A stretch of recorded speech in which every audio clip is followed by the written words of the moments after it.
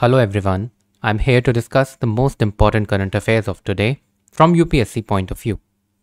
Today's articles have been sourced from The Hindu, The Indian Express and PIB with a special reference to the science and technology column of today's The Hindu. So without a further ado, let's begin. Our first article mentions that researchers at the University of Washington have developed a method that uses a smartphone derived images to visually identify bacteria on the skin and in the mouth. To enhance the smartphone camera, they attached a 3D printed ring containing 10 LED black lights around the smartphone case's camera opening. While the LED lights excite the porphyrins, which are found in hemoglobin and chlorophyll, it causes them to emit red fluorescent signals that the smartphone camera can pick up. Using this method, the team was able to generate a pseudo multispectral image consisting of 15 different sections of the visible light spectrum. The pseudo multispectral images make it possible to clearly see the porphyrin clusters on the skin and in the mouth. Generally, the more porphyrins you see on the skin surface, the greater difficulty you see with wound healing as well as acne. The team's approach can be tweaked to spot other bacterial signatures that also shine on the LED to help identify potentially problematic bacteria in other medical contexts. The next article is about dragon fruit export to Dubai.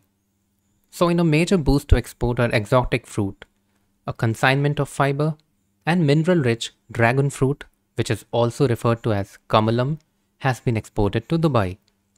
A consignment of dragon fruit for exports was sourced from the farmers of Tadasar village Sangli district in Maharashtra.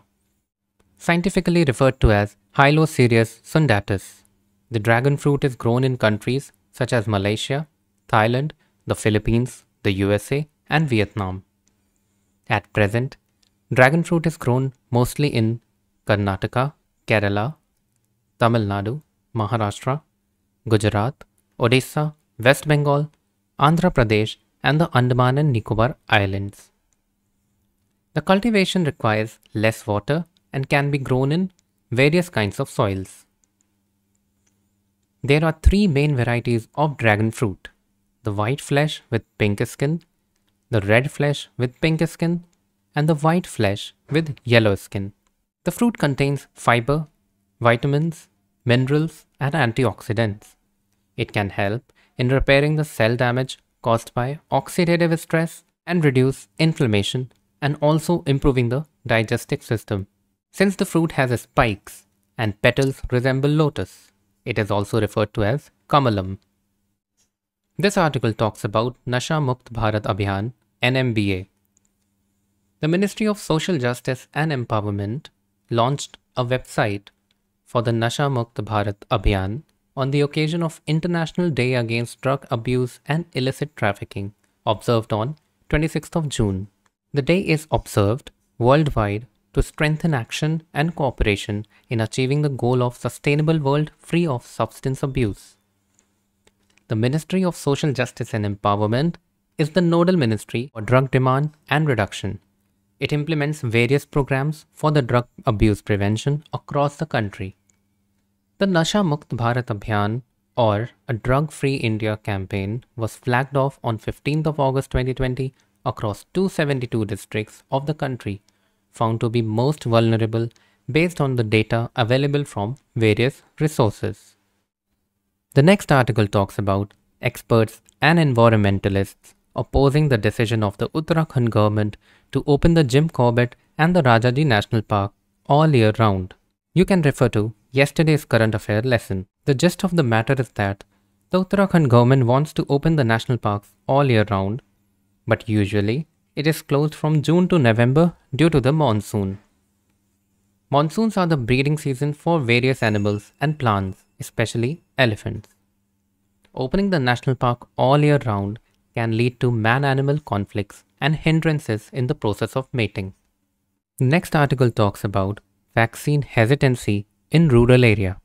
So people in the rural areas voice their concern about what will happen to them if they get vaccinated and have doubts that the government is sending inferior quality vaccines to them. In contrast, urban vaccination sites face increased demand, especially in the 18 to 45 group, and vaccine shortage is a major issue. The fear of vaccines and the issue of rural communities not only resisting but also outright rejecting vaccination is a reality. There have been several reports recently highlighting this. A few weeks ago, villagers in Barabanki jumped into a river to escape COVID 19 vaccinators. There are many diverse factors at play in this, which may go beyond the health concerns and have more to do with socio-anthropologic aspects of the health-seeking behavior. Vaccine hesitancy is not a recent phenomena. It is neither limited to a particular community or country, nor have we seen it only in the context of COVID-19. Various studies have shown that the acceptance of vaccines among African American communities is relatively low in the US. Polls have also shown significant hesitancy among Hispanics and the people in rural areas in the US too. We have also seen vaccine hesitancy among the urban and the more educated or aware populations, with pockets of populations of socio-economically well-off communities refusing to get their kids vaccinated. The article points out that most of our fears and apprehensions stem from a deep impact of something adverse or unfavorable that we have personally experienced or our social circles have experienced.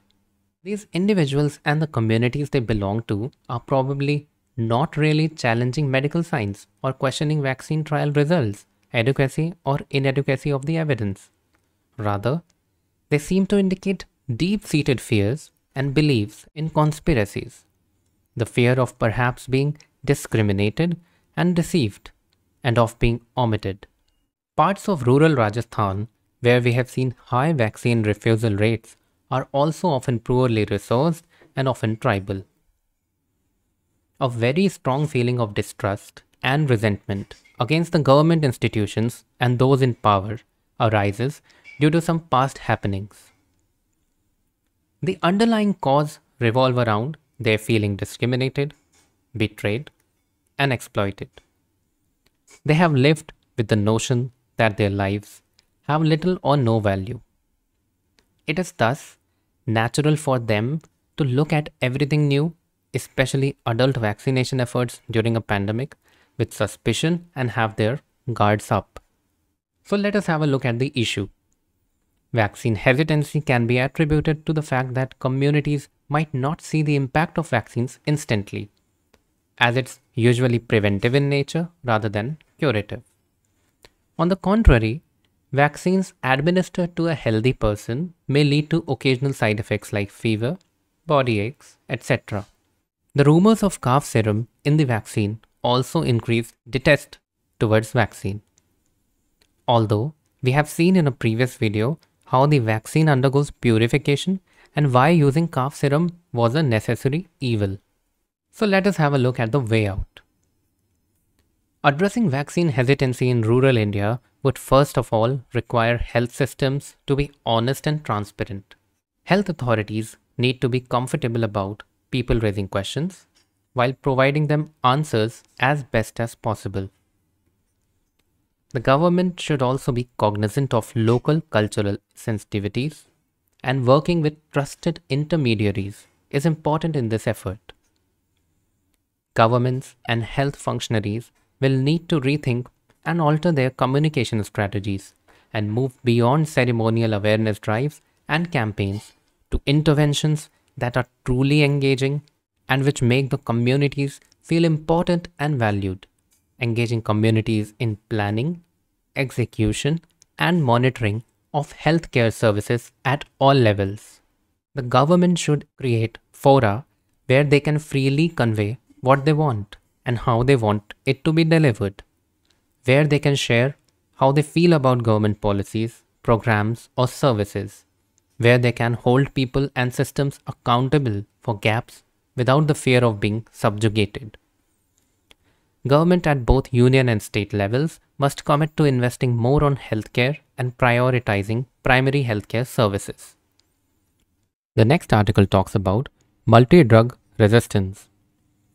It refers to a microbe, that is a bacteria, fungi or a virus, becoming resistant to multiple and known drugs against them over a period of time. Microorganisms can develop resistance mainly in two ways. Intrinsic resistance refers to the innate ability of an organism to resist a class of antimicrobial agents due to its inherent structural or functional characteristics. Acquired resistance refers to microorganisms acquiring the gene coding for resistance. It's kind of like hacking, except it's happening inside our bodies. Why do they develop resistance? So overuse and misuse of antimicrobial agents is the single most important cause of development of resistance. For instance, when antibiotics are taken by people with viral infections like colds and flu, they are also used indiscriminately as growth promoters in animals or used to prevent diseases in healthy animals. Poor infection control practices in hospitals, in the hospitality sector, and at home can cause the spread of disease, fueling the high use of these drugs. How to prevent the possible side effects? Always take antimicrobials when a doctor writes a physical prescription for you. These are not over the counter drugs. Never self medicate or share medicines with family or friends. Use the prescription as your Bible, not a rough guide to meds. So, if it tells you to take it thrice a day, do so. The article goes on to talk about the fitness cost. So, let us read about it. Fitness cost means when bacteria becomes fit or adjusted in one environment, they usually lose their ability to adjust to other environments. Small populations acquire a certain set of mutations which allow them to survive in one environment while paying a cost in others. Large populations also develop these mutations, but in addition have certain compensatory mutations that together give them the fitness to survive in different environments. Thus, Population size determines the kind of mutations available to the bacteria, which in turn leads to the type of fitness costs they evolve. The next article talks about the Great Barrier Reef that is in danger. So Australia's Great Barrier Reef, with its diverse marine life ranging from corals to whales, found a place on UNESCO's World Heritage List in 1981. It is made up of a couple of thousands of individual reefs of the continent's northeastern coast. The GBR is about 2,30,000 kilometers long and extends across a breathtaking 3,46,000 square kilometer area. It can be seen from outer space and is the world's biggest single structure made by living organisms. So the World Heritage Committee has sounded a warning by drawing up a resolution to inscribe the reef on the list of World Heritage in danger. The 2019 Outlook report of the Great Barrier Reef Marine Park Authority said, in no uncertain terms, that the long term state of the ecosystem has further deteriorated from poor to very poor. At the heart of this crisis is climate change, which has led to three big events of coral bleaching in 2016, 17, and 2020. UNESCO's move to list the GBR as in danger brings pressure on Australia's government. As a continent that has recorded a rise in its average temperature by 1.4 degrees Celsius since 1910, the devastating forest fires of 2019-20 were another wake-up call on climate change aggravating extreme events. So this is the Great Barrier Reef on the map of Australia you can see that it lies on the northeastern coast of the continent. So the reef structure is composed of and built by billions of tiny organisms known as coral polyps. They are made up of genetically identical organisms called polyps, which are tiny, soft-bodied organisms. At their base is a hard, protective limestone skeleton called a calicle, which forms the structure of coral reefs. These polyps have microscopic algae called zooxanthellae, living within these tissues.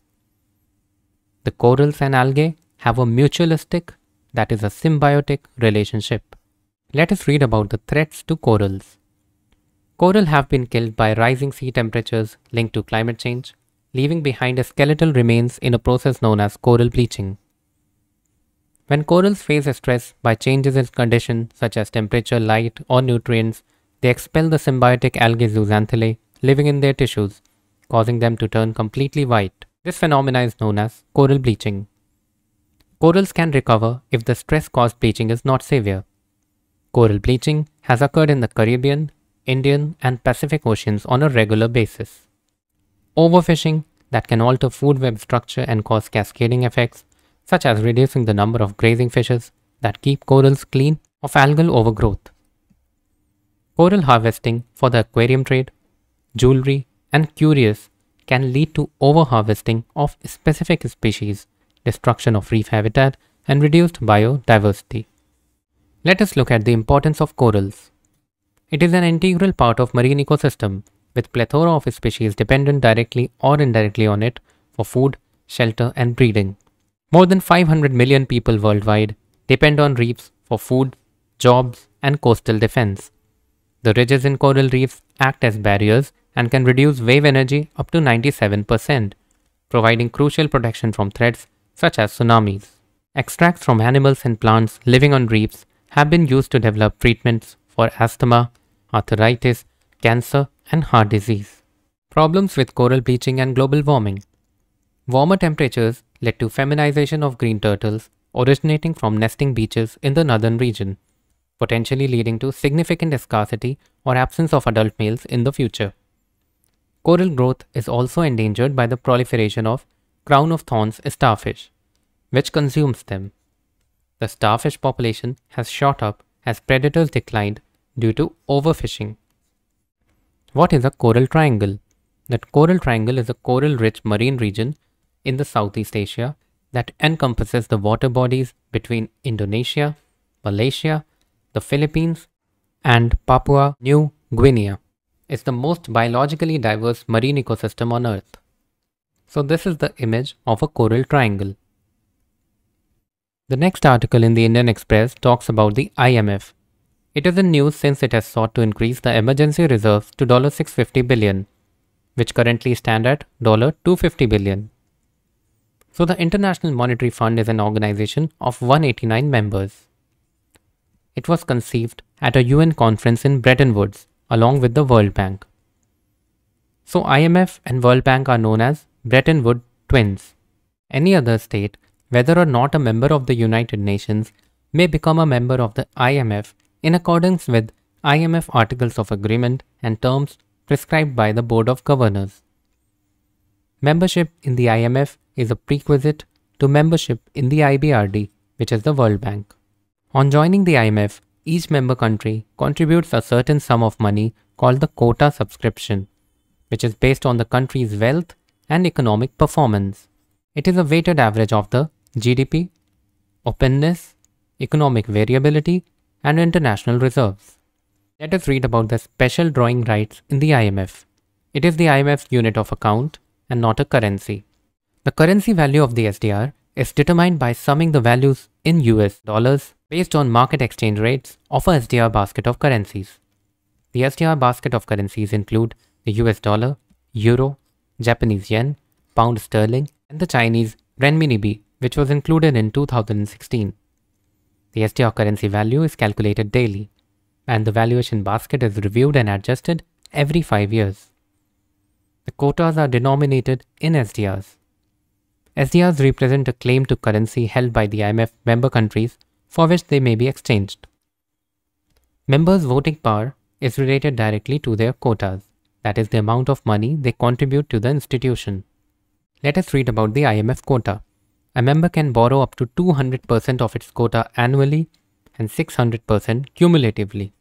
However, access may be higher in exceptional circumstances. IMF quota simply means more voting rights and borrowing permissions under the IMF. But it is unfortunate that IMF's quotas formula is designed in such a way that USA itself has 17.7% quota, which is higher than cumulative of several countries. the G7 group contains more than 40% quota, whereas countries like India and Russia have only 2.5% quota in the IMF. Due to this discontent with the IMF, BRICS countries established a new organization called BRICS Bank to reduce the dominance of IMF or World Bank and to consolidate their position in the world as BRICS countries account for one-fifth of the world GDP and two-fifths of the world population. Let us have a look at this question from Prelims 2020. The gold tranche or the reserve tranche refers to so the options are a loan system of the World Bank, one of the operations of the central bank, a credit system guaranteed by WTO to its members, or a credit system granted by IMF to its members. The correct answer is option D. Let us have a look at what gold tranche or reserve tranche actually means. So the reserve tranche or the gold tranche is the component of a member country's quota with the IMF that is in the form of gold or foreign currency. For any member country, out of the total quota, 25% should be paid in the form of foreign currency or gold. Hence, this is called a reserve tranche or a gold tranche. The remaining 25% can be in domestic currencies and it is called credit tranche. So that's all for today from my side. Do write in the comment sections if you have any query regarding a particular topic. And do not forget to subscribe my channel. Thank you so much.